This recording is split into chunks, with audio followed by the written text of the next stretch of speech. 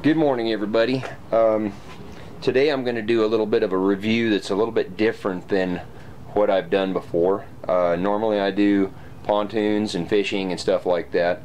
Um, today I'm going to do a review on my uh, my scabbard that I have on my motorcycle. Uh, there's been some pictures of floating around of my uh, motorcycle and scabbard and some guys have been interested and so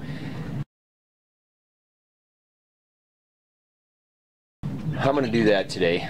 Uh, what I have is a 1991 Honda XR 250L. This old motorcycle has over 9,000 miles on it. Uh, it's been a good old motorcycle. I use it for commuting to work in the summertime and I also use it for hunting in the fall. And so what I've done is I have rigged this bike to be able to take a scabbard. And what I've done if I remove this reflector I can show that I have installed a piece of angle iron onto my front fork. And that piece of angle iron is what holds my scabbard. And I am going to show me putting that scabbard on right now.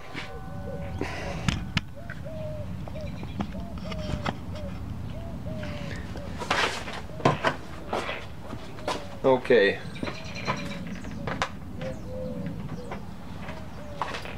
This scabbard that I have, I drilled a hole and I put a bolt through it so that it would go into the piece of angle iron.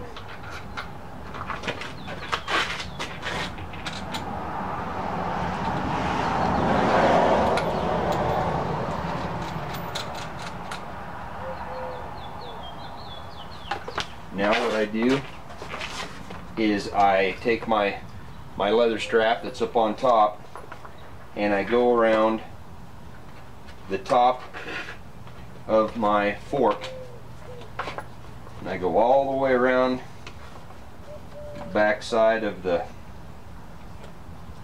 of the scabbard.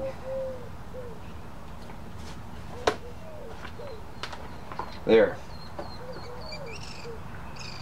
Now I'm going to go ahead and put my gun in. I'm going to do a safety check. There is no no shells inside this gun.